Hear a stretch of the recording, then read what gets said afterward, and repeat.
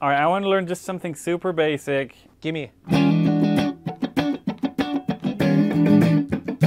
you go.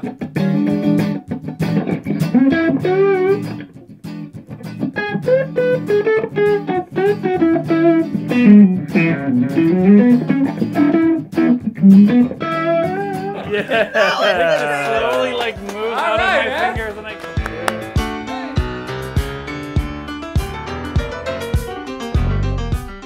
Hey, what's up? This is Cory Wong. I am the guitar player of the band Vulfpeck and a very amateur disc golf player.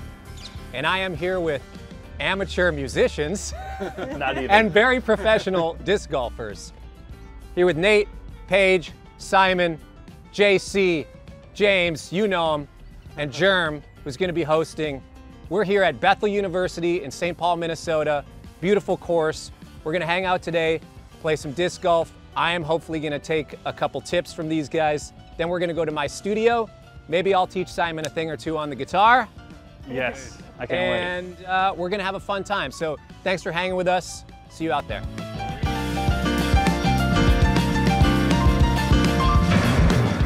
What do you like, Cory? You like forehand? You like backhand? I am left-handed. Sweet. All I got's a backhand. I like that. James Conrad, Paige Pierce. Most lefty right there. backhands have a righty forehand, just to make sure that I they have do. both rights Yeah, covered. you do. it's very Yeah, unfortunate. it's- I think it's because of batting position. So Did can, you play like, baseball? Like this. Yeah, a little bit. Yeah. But you, you play right-handed Cory, guitar, right? Courtesy of MVP, we, we heard you threw some MVP discs. Oh, so we got you a little, little bro! box. Nice. Yeah. Look at that. Oh my gosh. Is it the new stamp? Yeah, he's got the new stamp. Oh no That way! looks Yellow familiar. blue. Uh-huh. That's cool. Got the envy. The special edition. Dude, Those go in. thank you, Yeah, you're bro. welcome. That's Oh, it. yeah. Sick. That's it. In the middle. Heiser. What a shot. That's it. Nice. Nice, All Cory. All right. All right, all right, all right. There we go. Paige with the buzz. Okay. Ace Okay. it. Paige. Ace out of the car. How do you throw it that straight? Let's go. How did you get through there? This is my new disc, Passion. Just came out a couple days ago. Oh, can I feel that? Oh! Go, Jerm. Whoa, whoa, whoa! Okay. First shot. All right. I don't want to throw any. I don't want to throw either. Didn't even go in. No. Okay. Thanks, Simon. Thank you. Now we can all Taking the pressure off me and Nate. We can all relax. That's a now. Lot easier for Nate to absolutely that shot. That's a putt. Ooh, ooh, a little hot, little hot. This is a freaking sweet starting This is a great hole. I Wonder what it looks like on the green. Uh oh. Can I throw this? Yeah, absolutely. All right. Dead Ooh, straight. the passion. Yeah, you keep the it. keep passion. it. Thank you. Yeah. Whoa, that's a gift. Wow. You guys are coming up. I did not come prepared. Hey, what's up? Now we're in the studio. This is my turf. And since the disc golf pros made me throw first off the tee, I'm gonna make Simon go first.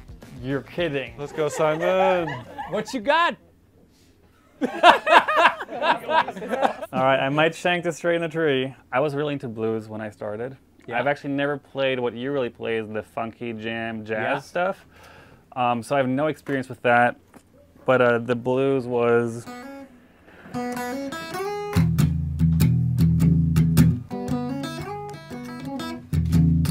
Yeah. I can't play with a pick.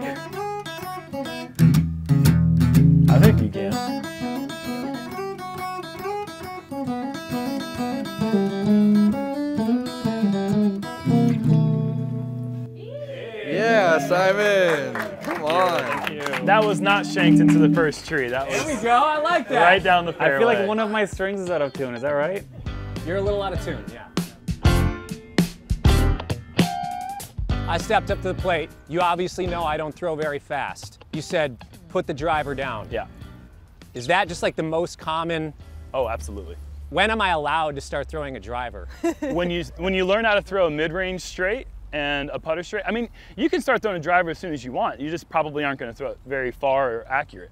Everyone thinks that the, the higher speed discs, you know, I want to go far, but you actually don't go as far if you don't get the disc going straight. Because you can throw the putter or mid range straighter and more accurate and more consistent. Just as far. And once you, yeah, most Really? beginners throw almost further with a more glidey mid-range than a, a high-speed driver. Actually, a lot of beginner guitars are harder to play at first. They have higher action. And yeah, higher like action or like intonation is a little harder to keep together. Okay. It's, it's just not as tight of a build. What kind of early mistakes do musicians have? I think it would be a playing thing, an approach thing, like trying to do, trying to do too much when you don't have some of the foundational things. Like, like if somebody's trying to do sweep picking on the guitar their first week, it's kind of like no point. Like Right. that's not really, it's not really going to do anything for you. Well, with a little bit of advice, look at you. You're in the Yeah. middle now. How about that? I'd still rather have my my shot than Simon's. One good shot, and he's going to throw that disc for the rest of the round. Look at that. Actually, that's great. Go in. Oh my Sweet. god. Amazing. Yeah. Spin it, go. Yes, dude, Come that was on. sick. Yeah, Paige. Nice, Yay! Paige. Fresh out the car. Got the bird. Sick. Yeah, JC. Wow, guys, you guys are All right, James, what do I do? Do I rock the Atom or the too Envy? good. You're used to the Atom, so that makes sense there. That Envy will be pretty overstable, brand new. Um, the Nomad's super straight. You could give it a try though. Oh, the Nomad. Yeah. Yeah, that's what James is putting with, the Nomad. Yeah. You both nomads? Always plug. That's good to know. I, I just assumed he was putting with the Envy. Really? I don't know. What? Outside the circle. That's Yes. That was awesome. You just got the same score as everyone besides Paige Pierce. Simon's Actually, you beat blown. Perkins. Nice one. So, on the first time trying a guitar, am I going to be able to match what you do?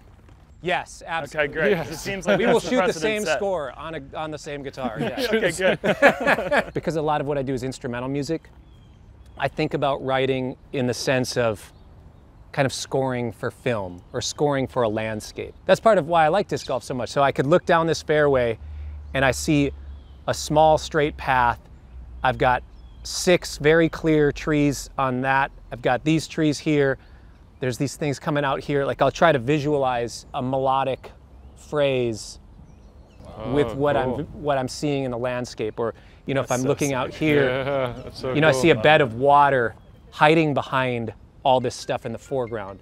So I'll kind of use that as a an inspiration for a production move where it's like there's a bed of something out there, a bed of water. How can I make that sonically and then all this other stuff here, you know? So it's that to me is the ideal thing where I can really kind of see something, spend some time in there uninterrupted and then kind of internalize it and, and put it into something. Whoa. I I think it's cool to think that when you're in New York City playing at Madison Square Garden in front of tens of thousands of fans, that it all started Oh yeah. somewhere completely juxtaposed, like, as different a venue is where it all began to take it to the cities. Because I'm guessing you're mostly playing in big cities across the country, right? Yeah. Oh, Perkins!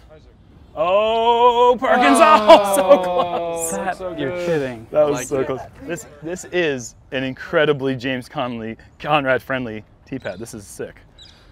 I, I don't want to use all it, but I feel like it, it was built, so I have to.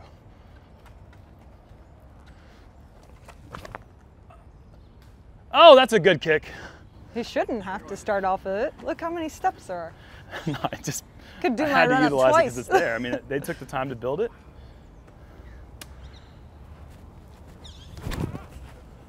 Oh, that's oh! Wow, that That ran was my twice. brain. looking so good.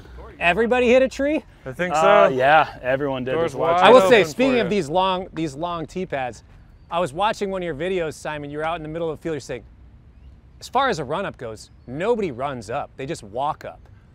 And then the next video is like a Jomez video where I see James like, like tearing up to me. I'm like, oh, come on, that man. I- What's with the mixed message? It is a gallop for sure. Yeah. Yeah. Just keep throwing that blue one. Wow. Let's go, Cory. That was Rest of the great. bunch. Normally, when I make an album, I spend months writing, months planning, recording, and then, you know, sometimes we'll go in the studio for a couple weeks or something, or spend four days in the studio, a month off, four days in the studio, a month off, or whatever, you know, a bunch of. For this album, what was actually really interesting is Jon Batiste and I became close friends kind of out of happenstance, and he's the band leader on The Late Show with Colbert And so he invited me to start playing on the show a bunch with them. So we would just sit around piano and guitar, playing through tunes. And it was like, oh, that's really cool. Let's let's record this as a voice memo. So we'd record a voice memo. And then I would go home and then we'd just start sending each other text messages of voice memos of like, hey, this would be cool to play together. We found a couple friends to record with us and we had these six ideas. They're all just like these jumping points of, of melodic ideas. Like the one was just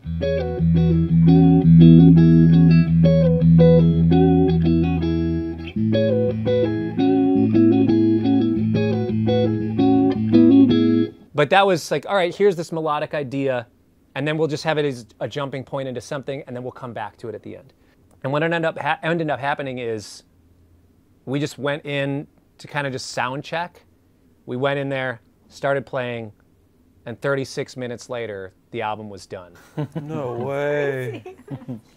And it, it was just one of those things where Jon would sometimes lead the thing, sometimes I would lead it. You're hearing the instincts of Nate on the drums following, and then, okay, all of a sudden he's using this amount of momentum. That's where he thinks we're going. So that's where we're going. Okay, now I'm going to bring us somewhere.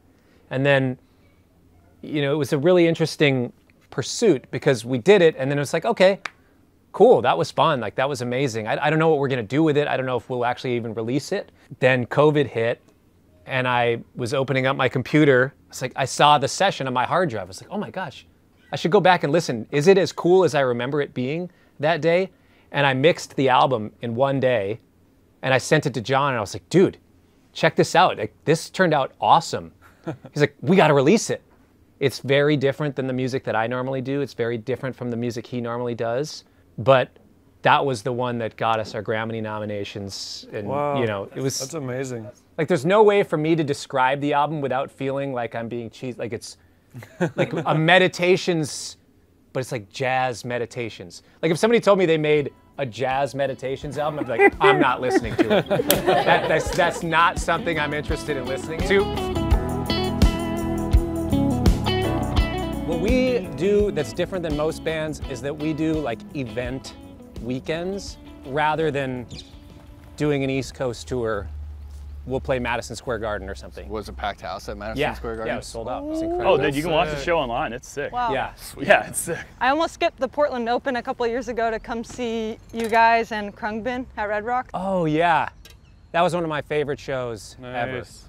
But it was 38 degrees out or something. We were all wearing snowsuits. What? Whoa. It was freezing, but it was incredible. Does it was mess, mess with your like dexterity at all? Your Oh fingers? yeah. Oh, yeah, yeah. yeah. My hands were frozen. Oh wow. Yeah. That's something very similar with disc golf. Yeah. Like when Yeah, it's it's when it's below 40, like I can't throw a disc I at all. draw. I can't putt at all. I can't putt. I have no idea when. Yeah, I'm out. I'm Does so it change out. the disc response? Yes, yeah. Uh, The, the the plastic doesn't like have as much give. It stiffens up, and so it, it they can fly different, and Yeah. you just can't get the same same grip really. Grip. Yeah. It's really just that or like confidence. the commitment too, because it it hurts when you Oh, like really? actually like rip it. Oh my gosh. It's going in. Wow. Oh, sick. Wow, dude. Nice. So far, all right. That's a good strategy to shank the first shot. so Yeah. you're- so good. Why does something out of tune sound bad to us? Why does something in tune sound good? You're getting real deep, That's real deep. fast. That is deep. Well, are, you, are, are you? Uh, Yeah, I think that most of us, when we think of something that's not good, it's a culmination of all the references of everything that we've heard in our life that we've either had some sort of emotional response to. so it's learn, learn. Yeah, I think Yeah. so, but I think to some degree, there's also an order to things. If you were to analyze a waveform of just one note, it's it's gonna show up a certain way. And if you play a certain interval, a fifth, when you analyze those two waveforms together, it's gonna actually show a geometric shape that's pleasing and looks like it has order to it. So scientifically, there are certain intervals that have they, they, they have a visual order to them. So something tells me there is some sense of order that we associate with, where if I played that fifth a little out of tune, it's it's not going to show up with as much order.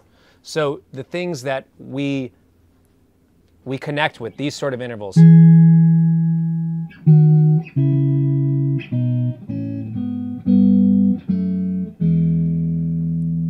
There's a certain amount of scientific order with those waveforms that work together, which would suggest to me that there actually is something. It's mathematic. Yeah, there's something mathematic. It is not just learned. Yeah, it's Now And that hum- being- I think humans crave order too. Even like we try to like go Yeah. off the beaten path and it's nice, but you kind of crave it a little bit. Like you need that, Yeah, absolutely. like stability.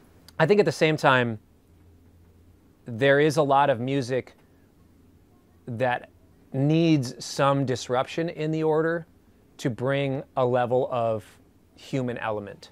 It creates like tension too and interest. That, Mm. Yeah. Like, and then you can you know bring it all the way back around and make it whole again. Yeah. Make it like Yeah, stable. absolutely. And so much of music is tension and release. So if I were to play, if I were to just go,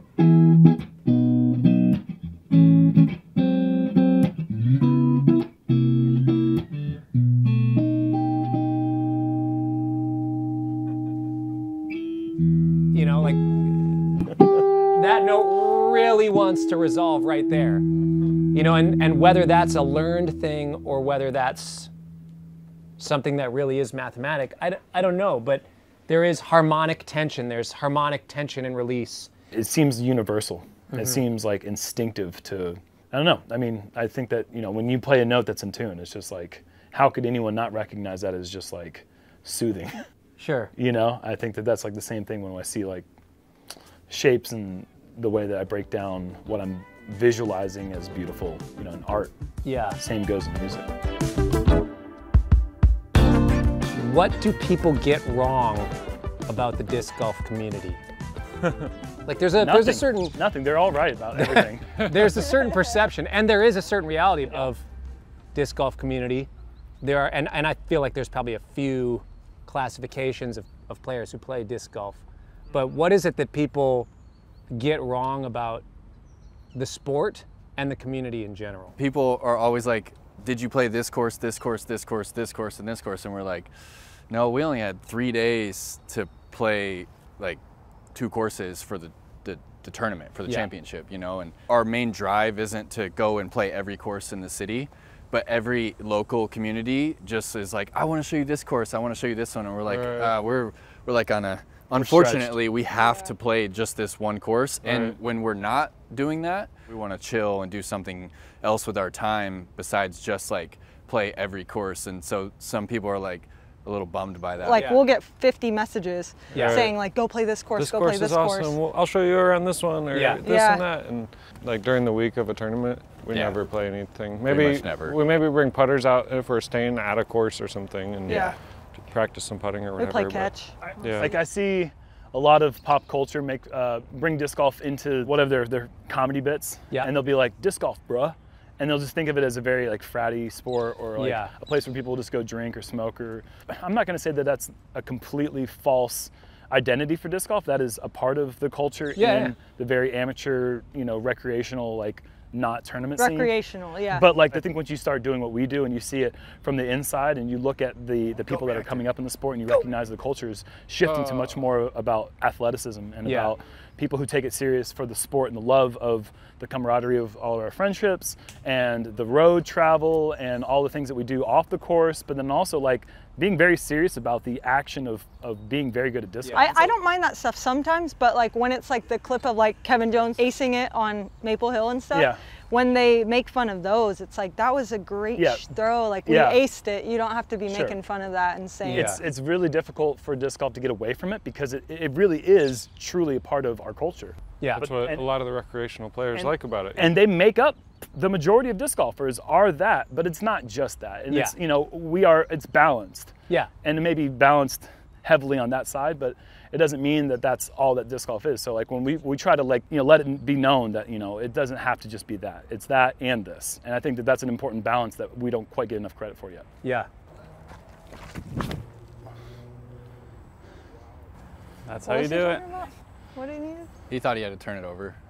i mean it's not quite there but That it's was close sick. No, you're so there. That was dirty. is it all right see could i do that if i was just out here like hey what's going on man Let's go, passion. You want to try playing disc Stay in golf, the bro? air. Look at that. Sick, Wow, Paige. Paige. Amazing. Yeah. Should I throw the passion? I just don't want to lose it in Just the like water. Paige I have about 50 more in the Oh, that's water there? Ah. Yeah. Nice. Yes, sir. Sweet. Fairway. All right. Both times that you threw that that disc at least, when you throw, your arm just is stopping right here. Right here. Yeah, and you need to like finish the, extend the, the follow through. So that's You know what I mean? It like stops all your forward progress, and it's just like that's why the disc never got to flat. It just stayed going that way okay. because you're not popping it up to Watch see how his Oh, arms yeah. all the way. Like I would think your shot's not finished until your right shoulder is in front of you. Now, how far back should I go? Like if I'm reaching back, this is too much, right? I personally think so. I don't like my shoulders to get more than parallel, but I know like when you're throwing distance shots, yeah, people are reaching that far back, but you know, on a hole like this, you don't want to make your you want to limit like your error range. So like the farther you reach back, the harder it is to get back onto your line. Okay. So like I don't like to reach back farther than this. But the most important thing right now that I need to do is Commit. make sure that I Commit. Yeah, c- finish the shot. It's like you threw at 80% of the shot. Throw another passion. All right. Got to get a good one on video with the passion. What? Here, play another Stratocaster. I'll take one, Cory. I'll show it to everyone I know. Oh, much more committed. Better. Yeah. You know, when I start overthinking it, then I, I yeah, know yeah. it's There's, tough, there can be too, there's so many different facets that go into it. yeah. so where can people get your Stratocaster? Like, is it is it on Fender's website or you sell them or what? Fender.com slash Cory Wong. Yeah. No, but like you don't sell them on your website or anything. like no. So, I mean, you can get them at Guitar Center, Okay. Sam Ash, any of like the retailers. So, a Stratocaster is a Stratocaster. Yeah, okay. Right? But there are certain things about it. Like, I developed uh, pickups with Seymour Duncan. We developed a different body shape for it that fits a little more my style of playing, the sustain and the attack, the transient, meaning the very first of the Yeah, Nate. Yeah. of the waveform. My mine is actually very good for a beginner if you can Okay. afford it. It's a two thousand dollar guitar, so Oh, it's it's easy. Um, Play disc golf. for them. Oh, yeah, you're timed loaded. right out. Um, Have you ever heard a bird like sing out of tune? Like they're always in tune, right? That's a Like fascinating would you point. would you say that a bird is in tune? Yeah, I don't know. I I haven't really thought as much about that, but it's interesting to hear. You know, you hear birds in different ranges, like the guitar, the baritone guitar, the bass guitar. You hear birds that sing different intervals for different things. Humans are one of the few one of the few creatures that lower their tone of voice to try and attract a mate. Bir- some birds do it, and a lot of frogs do it to try and sound like a a more attractive frog. And so, if you hear a bunch of frogs calling together, you'll start to hear them go lower and lower and lower and lower and try and get the mate. And humans do that too. that's fascinating to think about how we posture ourselves like in our voice you know it sounds cheesy to say but music is all around us you're very aware of it obviously by thinking about the way the birds or the way that the the wind through the through different types of trees from an aspen tree to a pine tree it's going to be very different i guess there's also posturing in disc golf like like james is throwing his putter when i'm trying to drive But that's not that's not that's not legitimate posturing. He's just like I'm gonna way And the ladies are impressed. I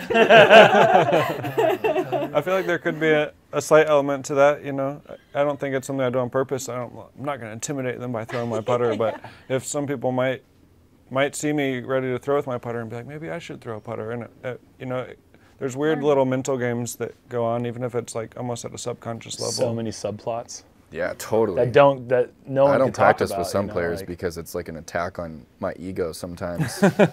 for for real, I can't practice with like eagle. It just it doesn't benefit me because I don't learn anything from watching him try and play the course. You know. In what way? Well, because he I can't get the disc up to speed like he can. Or a lot of people can't. But if I just play with my friends or something and we're lifting each other up and I'm just in my own world, I can be as confident as I need to be to perform at my best. So.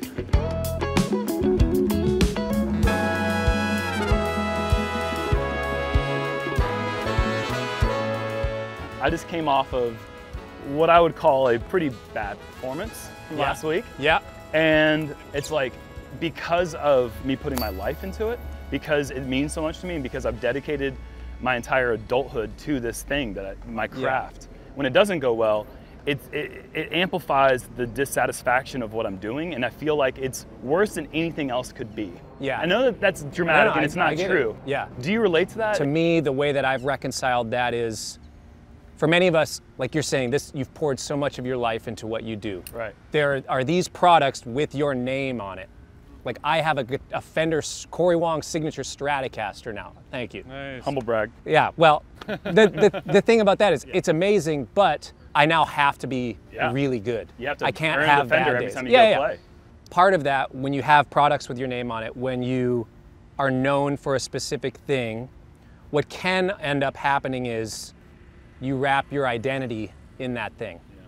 So for me, what I've done to reconcile that is that I actually tie my identity to something not performance based. That's fantastic. I tie who I am into what I do and a certain message or whether it be a certain Dude, that, that hits home, man. thing. That Yeah. really, that, honestly, like right now, the way I was feeling about disc golf just in the last couple of days, it's just been like mixed up with all the feelings that I have with the expectations that I have of myself, yeah.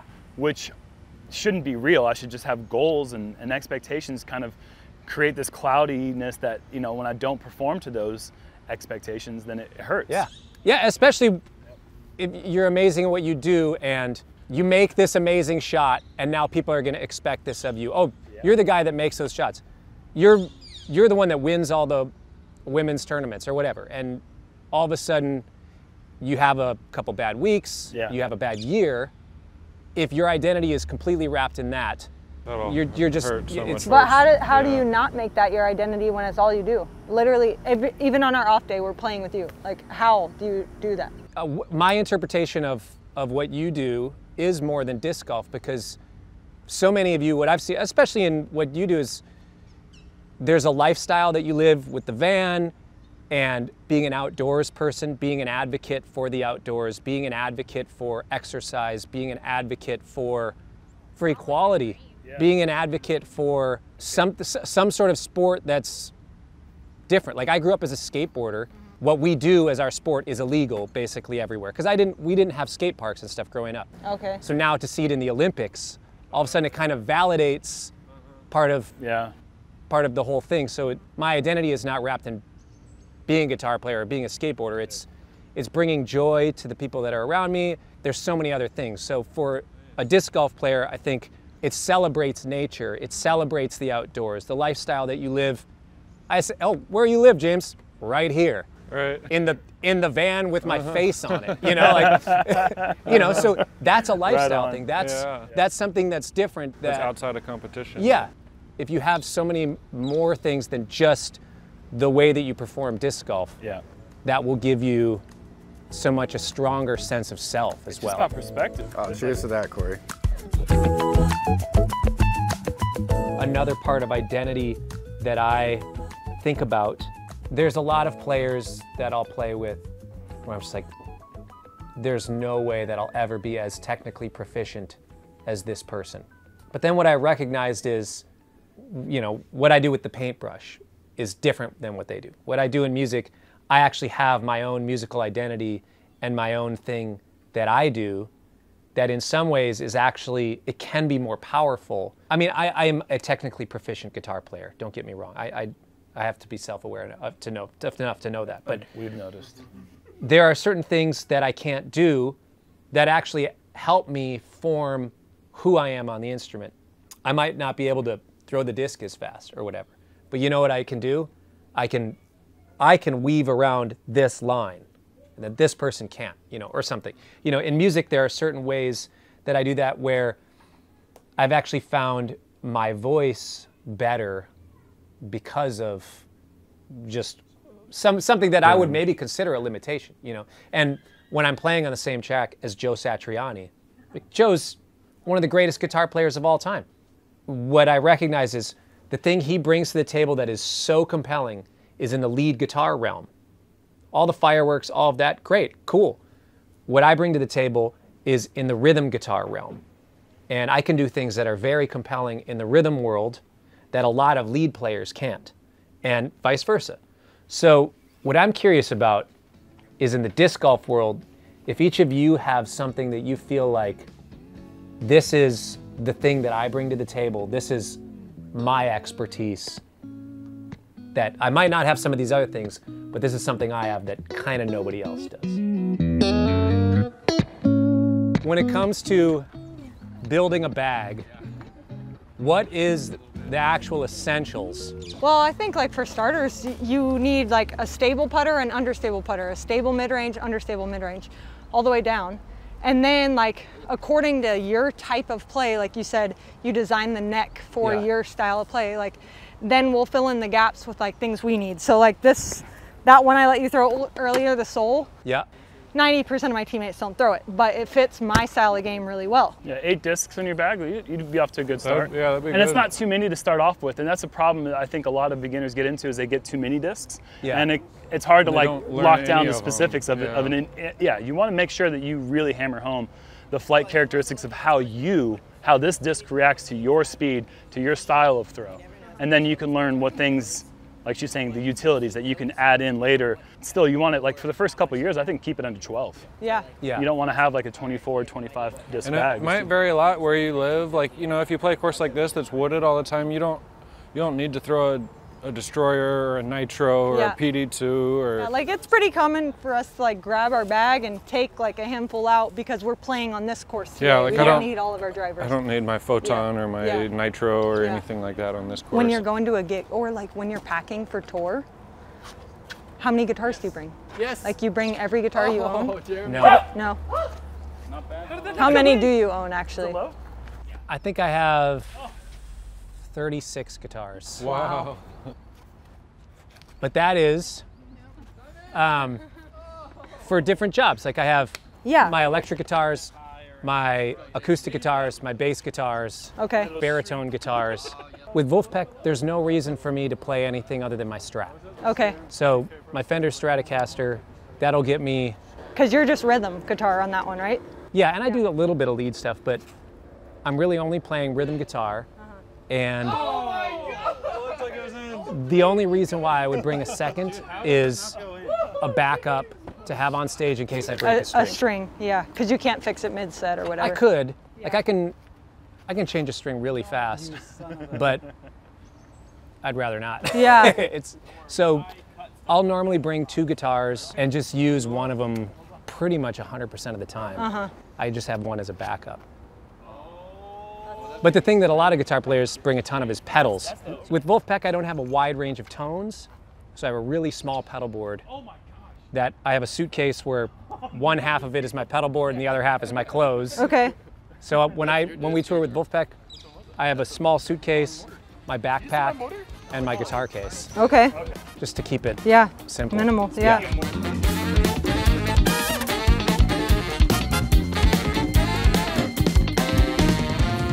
James and I are known as the backhand players. Like we don't really throw sidearm hardly at all. And I think that the you know, Simon we all know we're like, oh Simon, you got that shot right there up and up high. Like we know Jerm's like flexi sidearm, like touch sidearm, and like we just know our fortes. And I think that's what you're saying too, is like we rely on that. If there's ever a moment where you're feeling like that insecurity or whatever, you can just fall back on that one skill that you have.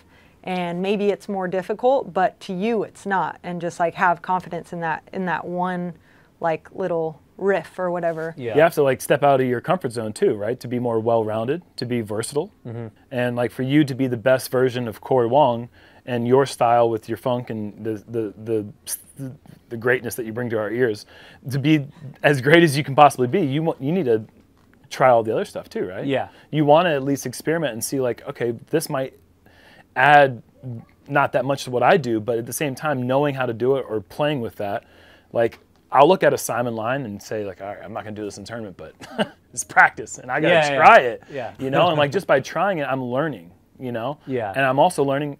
Probably just do a sidearm.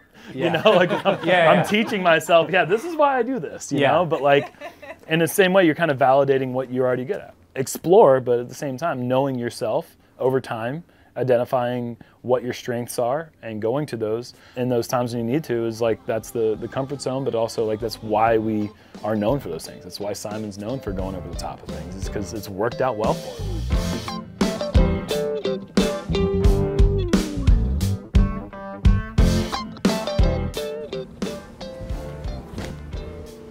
Flip. Oh, Oh, yeah, my Simon. God, Simon, what is that? Wow. Sick. Wow, let's go. What is that? Incredible. Yay. Thank you. So how long have you been playing? So I, when I was in college, 2007, I uh, started playing Okay. a fair amount. All right. And then, like, after I graduated, didn't really play a lot. And then when I started touring, a drummer friend of mine, Steve Gould, who's an incredible disc golf player, and he was, he's just such an advocate for the sport. He was like, all right, we play the gig, hang out at night, go to sleep on the bus. The bus drives at night. We wake up in the new city. Steve was on DG course review, looking for like you know the best best course close to us. Uh-huh. Yeah, so we would go play all these courses. I probably played 300 courses because of being a touring musician. Oh my gosh. Like we were simultaneously doing Incredible. a disc golf tour while we were That's so cool. I love to hear that. Who do you play with when you're on the road? Like, just the band. they play? Yeah. Cool. Antwaun too? I haven't played with Yeah, Antwaun. JC. Nice. Yeah, dude. Nice. Yeah, you said you were gonna try to get the guys into playing, right? Like Yeah. you're- Like you have to be the drummer dude for the rest of the group. now. I know. All right, I want to learn just something super basic where you can like have fun on top of that. Oh, okay. Do you know an E9 chord? Nope, but I'll figure it out. Okay, so just get this motor moving. This. Okay, now.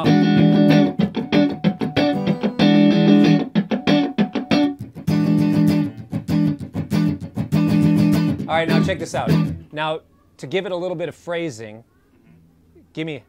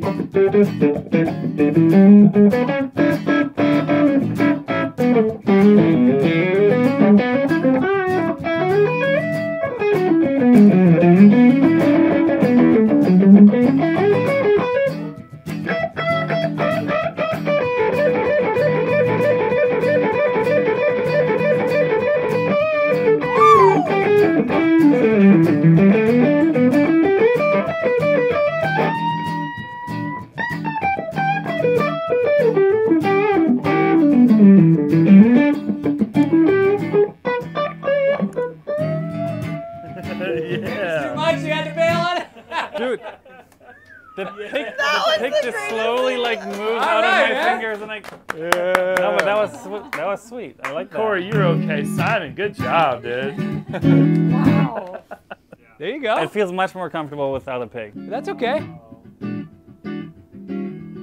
That's like funky. Yeah, That's funky. I like that. Is this your drive? Yeah. Are you putting? I am gonna throw Simon it can kind of putt from here. This yeah, this is like just outside his normal. In the good old days. Yeah, the good old Simon Flippy Aw, P2. Don't say that. That breaks my heart. you can have my elbow. Oh, get it there. I think you got it there, Simon. Nice. Beautiful. Wow, what a slope. Playing for birdie. Stay up. Yeah. Oh, birdie? Sweet. Yeah, Simon. when the entire round, the entire tournament comes down to one shot, or when when it comes down to recovering from maybe a couple bad holes or something, how do you show up when the moments when the pressure is is at its highest? It's a tough one. Um, Sometimes poorly. I almost withdraw, like I'm present on the course, but I'm not like thinking too much about anyone around me. Like I'm not acknowledging anyone in the crowd. I'm hardly even acknowledging Jordan or sometimes even my card mates. You know, just like really focusing on on my breath. And um, it's hard to say. There's like one moment when you like turn on that focus. Like at a big event like Worlds, it's pretty much the whole week. You're like trying to stay as locked into that level of focus as you can. So it's You can't really bring that same focus at every single shot. right. Uh, you have to bring like Can as you? much as you can the whole time. Right. You're trying to conserve it, right? And then there's like a moment where you're like, you recognize, obviously, the fourth hole, first round, your putt for 30 feet is just as important as your throw in on the last hole. Mm-hmm. But that fourth, that putt on the fourth hole, the first round, doesn't, Doesn't feel, feel as You don't feel no. that, right? And you, you can't sustain that level of locked inness. You have to try. You absolutely have to try. Well, we're talking to world champions, so you guys tell me. like, tell me how That- to do that's it. what I that's what I noticed. That's what I noticed about Yeah, about these two. they're able Pa- to do Paige that. too. I mean, at U.S. Women's, it was like every time she stepped up on the tee pad, no matter the difficulty of the shot, she would just pause and she would just look at the line. That level of focus was just there. You could feel it. You could feel her will, like looking at the shot, and it was different than the week before. At, at the tournament before that didn't matter and didn't have the same amount of pressure. you finished a major event in Konopiste with It was a world tour back then. World Tour, mm-hmm. still an elite level event, down two shots to two players who were playing elite level, and you had to go throw in birdie, and you did it. That was nuts. That was amazing. I mean, talk on talk on that, like the focus that you felt in that mode. Did you feel like you snapped into something there, or did you feel like you had it all the way through? I mean, was it kind of a situation where you compartmentalized, or what? I don't know. I have this weird thing that even if I'm like thinking about something before my shot or while walking up to it, like when I line up my shot, I like stop thinking. Like I just hmm. don't think about what disc I'm throwing or what angle I want to release it. I just, like you were saying, the instinct. It just it just happens because I've been doing it since I'm two years old. It's hard to explain, but it's like the best tip to try and give someone is just like don't think. The intuitive, Yeah. intuitive mindset. Totally. And I mm-hmm. remember like the first time my, my girlfriend came out and watched tournaments, I was like leading up to it, being like nervous, oh she's gonna watch me play, I don't wanna fail. But then when I line up my shot, I like don't even remember she's there. It's just just one thing and just no thoughts. Very cool. That's interesting. In music, as you're saying it, I'm realizing that as I'm playing concerts, not once am I thinking about my technique. Mm-hmm. I'm just playing the song. You know, for us, I think it's a little different because I have a hundred percent focus on a handful of things when I'm on stage. I, I can just prepare for a concert or for a tour or for something that's happening. And if I'm prepared, I'm not nervous. It's just like I just need to go up and, and actually just play. You know, I'm, I'm set to go. There's so much less outside variables, you know, as It's not like a competition. It's not like okay, if I Yeah, do good enough, I'm. Yeah, gonna that's win, maybe and biggest- i- if not, I'm, I'm gonna lose.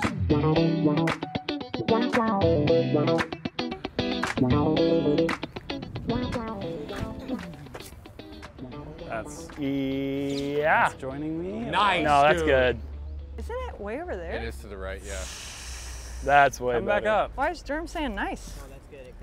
Uh, I'm saying nice because it at least got full flight in the roller. We get to see it. Full roller flight. Yeah, I mean, do you call? You don't really call it roller flight, do you?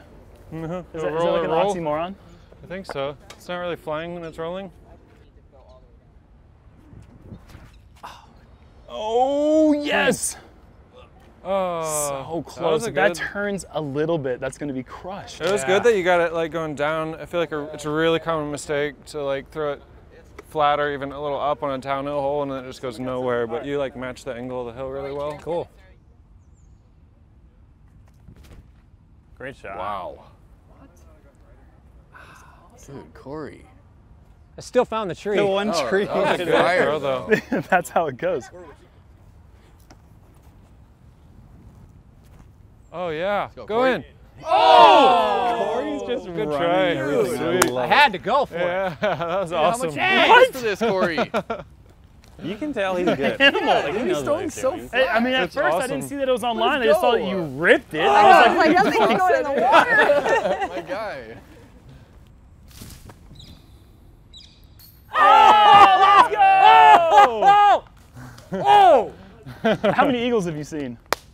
Two, both of them on this, Both on this, hole. Oh my gosh. Nice, That's sick. bro. Putt, but That's Dang. cool.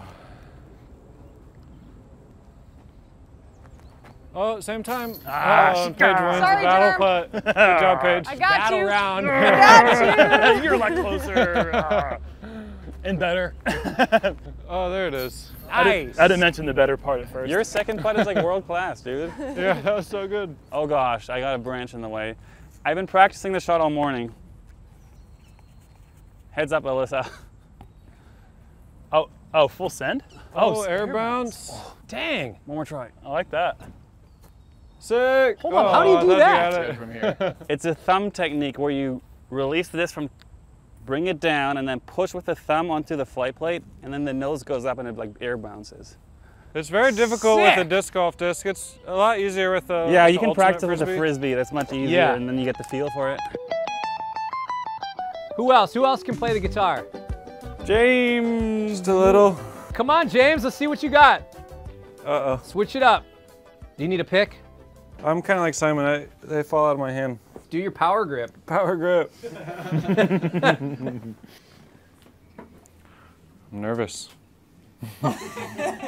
You're the guy that can fully commit, though, right? So uh-huh. whatever you're gonna do, just commit to Just it. Just commit. this is my favorite little thing I know at all. It's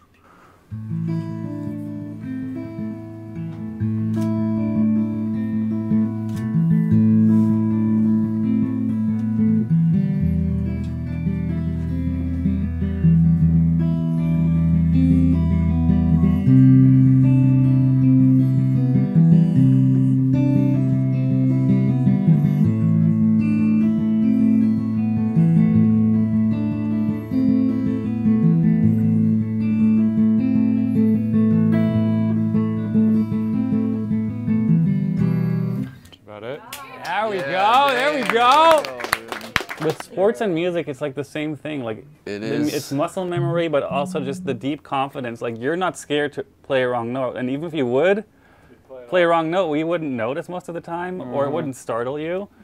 But I, I relate to James here that if I play a wrong note, it like would be like, oh shit.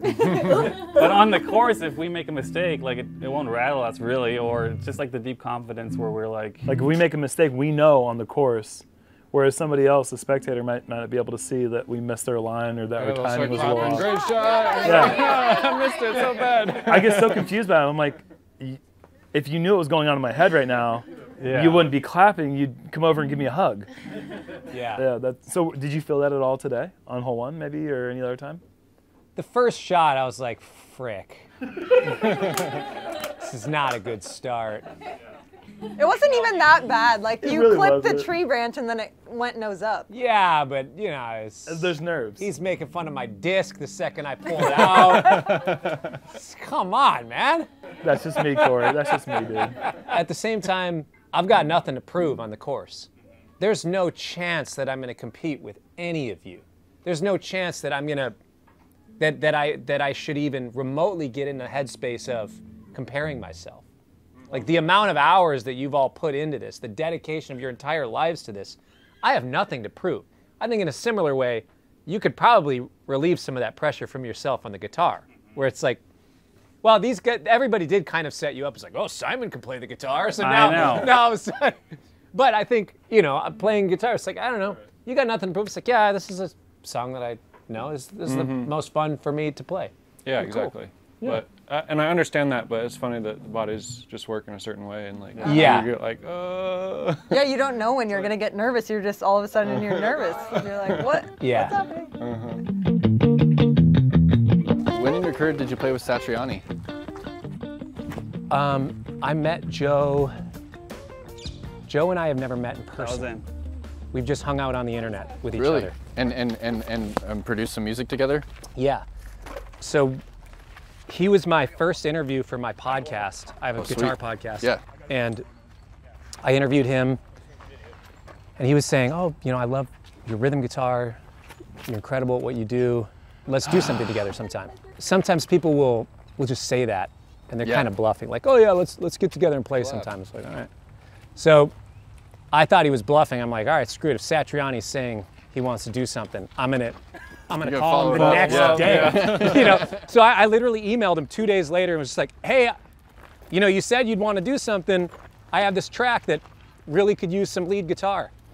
He emailed me right back. He's just like, oh my gosh, I love this. Yeah, I'll send you some options. And l- less than a week. Yeah, he just Wow. laid it down and come on. slayed it on this too. He's like, is it cool? Like, do you like it? I'm like, yes, it's cool. It's amazing. What track was that? It's a song called Massive. Massive.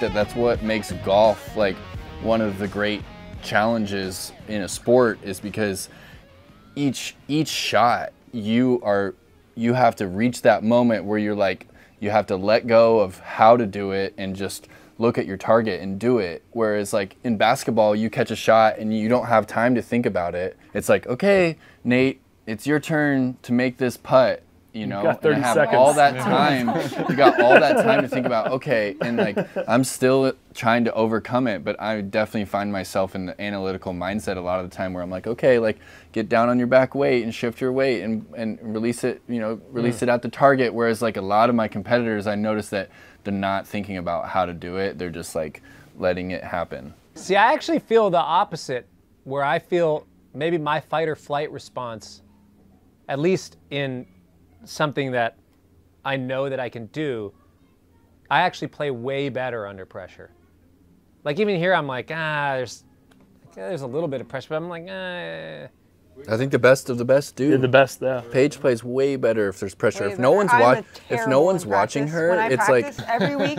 My first round of the tournament, every weekend, I'm like, I'm gonna get last place because I just practice so bad. I'm just like shanking everywhere, and Yeah. then like as the weekend goes on, I get more comfortable. When more it- spectators are there. when more people everyone's- show up, you you change your. I know, I know, time. because of that, because Yeah. of that, and the spe- and it's like almost like it. We are performing. Like they literally came here Yeah. to see you throw. That's the pressure I'm Yeah. feeling, and it's like, t- I I love that actually, and like I enjoy it, and I think I do well under it Yeah. most of the time. hear that? Stratocaster. I don't even know how many royalties you get from one sale, but I'm gonna buy one if you get a hole in one right now. Percent. I'm gonna buy one. What is it in the disc golf world? You hear that? You don't have to. Depends on the company. this, Well, in the music world, percentage wise, I don't know, but we're definitely not getting a percent of 2,000 for one sale. That's for sure. well, uh, factory cost. okay. It depends on the manufacturer on that one. Yeah. Now, see, everybody's on different companies. They're like, what are you making? Yeah, well, hold on a second, hold James on. is like, hold on, hold on. Oh, What percentage you get? Nobody wants to talk. I get it. All right. All right. Juiced it. All right, Jules, we can still have a wedding. Okay, great. Trust Adam Hammes thing. What is he? Was this? Is it that foot that it's stomps? his left foot, I think. Is his left foot that stomps? left foot, left stomp. Yeah. oh, it worked. No. It's in. Oh, off the top. Off the top. The Oh my gosh. Might There's to something to it. There's something to it. I've never felt nervous doing commentary. I know that hundreds of thousands of people are watching. What if it is But it if I'm- live different though? No, I didn't. I did live and uh, for the DDO this year. Didn't feel nerves at all. I felt like I was in my element. Felt very natural. Wasn't worried about saying something dumb because I inevitably do that every round. Still crack jokes. Yeah, I'm still gonna crack something dumb that uh, most people are gonna find cringy, and that's That just stuff was nervous for me. that's That's just my nervous brand. That's all right. I get Going it. to interview. You did good though. Your I did the live. I did the live broadcast this past weekend, and it was it was so nerve wracking. Like going to interview Eagle right after he That's won, different. That's one-on-one stuff. You know, and it's like every there's were like a thousand people all around you, and then you're like, don't say some dead end question or something that is just like, yeah, Nate, what, you know? But You did a good job. it, it felt good. It You did a good great. job with it. Yeah. Like I still like get that nerve of like the nerves of like, man, I love this. I still get excitement playing in front of people. But like, if I throw, I feel like nervous if I throw a bad shot in front of like 75 spectators. But talking and saying a really, really bad joke in front of a hun- hundreds of thousands of people doesn't bring me any nerves. Like I don't know why that happens or what that is, but that's just It's just where like a it's just a it's just transition into it. Yeah, and I just I'm really naturally bad at telling jokes. With Vulfpeck, what we do in the studio is we're all in one room and we record everything live together. And that's unique to, to the modern era because actually we've never even worn headphones. Oh wow. Most of the time you have headphones like, oh yeah, I need a little more of this, or oh, yeah, give me a little more guitar so I really, whatever, give me some more drums to be really comfortable. Most of the time when we're recording, we're actually fairly uncomfortable as far as sound wise. Everybody's just kind of monitoring enough to hear themselves and, and make sure like I can kind of hear everybody else. What's kind of cool and sometimes uh, frustrating is that the mistakes will just stay if there is little mistakes. I, I can listen back to every Vulfpeck album and think, mm-hmm. Messed up here. gosh, I just wish we would have done one more take. But at the same time, nobody's gonna, No. Yeah. nobody's, I mean, yeah, you could probably look at me, oh yeah, I, I guess you could have sustained that note for an extra eighth note. But nobody cares, other than me. But Well, it's all, all and artists, their paintings are never ever complete. Sure, They're never complete. Like a, a great artist will look at their paintings and like they'll put them out because they eventually have to sell. Yeah. Them. If they want to be able to live, Yeah. they have to get rid of them. But like that's what most artists will say is that they're never really done. All right, so I'm gonna say three, two, one, putt. Don't putt until I say putt, but you have to release it then. If you release it early or late, DQ. I'm sending you out of here, Cory. You hear me? I want that passion. I know you do. All right, three, two, one, putt. Oh! oh! Are you serious? I knocked yours Let's go. in. Let's You go, Nate. Let's go, bro. Oh! All right. me All you now, so you gotta do it you. again though. You gotta back it up. Simon hit me in. All right, give yourself a little more room. Nate's a great putter. Yeah, there you oh, go. not. Yeah, there, that's that's good. Last All right, for the last three, five years. one, putt. Yeah. Let's go! Yeah! Let's go, dude. Cory. Could that go any better? Oh my gosh, Oh dude. my we did gosh. not we did not stage that, dude. You just won. That's awesome. Okay, everybody's got an instrument. Here's what we're gonna do. We're just gonna try to jam something together. The entire pinnacle of this is going to be when Alyssa comes in on the flute. Yes. You're our glue. So we're gonna play one measure of C, one measure of A minor. We're gonna set you up to solo in the key of C. Wait, I'm soloing? Yes! Okay, just think about it. You're gonna have a minute to think. We're gonna go around in a circle, and I'll kind of instruct everybody to go. All right, okay. Jerm, start us off.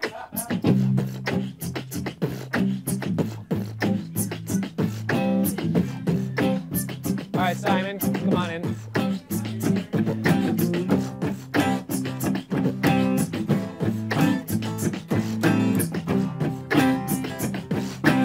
JC knows what's up.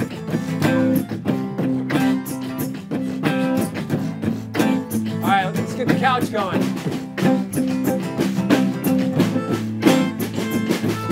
Paige is bringing the marching band vibe. Paige, give us a backbeat. One, two, three, four. Two. No, just hit on two and four. One,